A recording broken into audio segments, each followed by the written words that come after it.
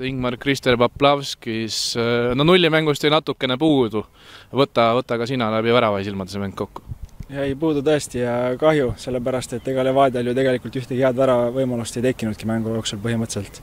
lõpus tundus, et andi, anti neile päris lihtne pealt, aga samas peame ka endale tuhka pähe raputama, et lasime selle Audi, Audi all jäime magama, et mees jäi täiesti vabaks ja sellest täna piisas, et väike kohtuniku abi ka ja nad said selle viigipunkti kätte, kuigi meil oli palju võimalusi tegelikult üks-nulli pealt mäng ära lõpetada, et seal tuleb rünnaku faasis paremini realiseerida, nendel pole võimalustki.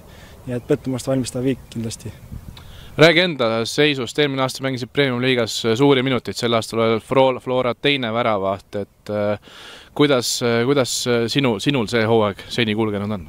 No seni kindlasti ei saa öelda, et oleks plaanide järgi kulgenud, selles suhtes suure hoobi andis, andsid vigastused hooajal. juba detsembris olime paar päeva trenni teinud, siis vigastasin õlga üpris tõsiselt.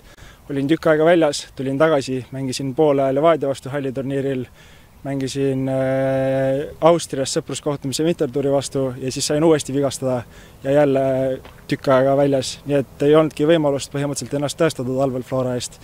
nüüd pean siis trennidest endas maksimumi andma, need duublimängud, mis mulle antakse siin samuti ennast parimast küljest näitama ja näitama, et ma olen samuti võimeline Premium-liigas mängima Flora eest.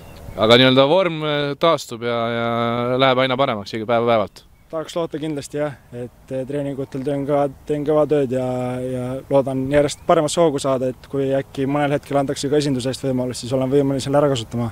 selge, aitäh sulle, jõudu ka, jõudu ka meil sinu pool,